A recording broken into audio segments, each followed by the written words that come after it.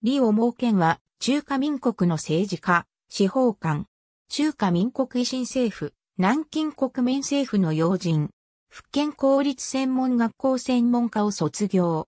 霞浦県知事を経て、福建省で司法官となる。1917年、アモイで弁護士を開業した。1931年まで福建の弁護士会長を務め、中華弁護士協会理事なども兼ねている。1938年1月、リオ毛県は、アモイ治安維持会司法どころ主任審判官となる。3月、アモイ治安維持会会長兼高等法院委員長となる。7月、中華民国維新政府において、アモイ市政府が成立すると、市長に就任した。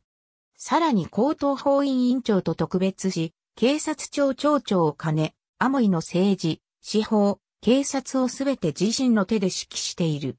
1940年に南京国民政府が成立しても、引き続き李毛県がアモイ市長に留任している。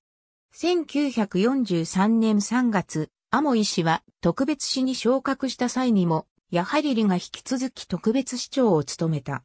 1945年8月に王朝明政権が崩壊するまで同職にあった。李のアモイ統治は7年余りにわたったことになる。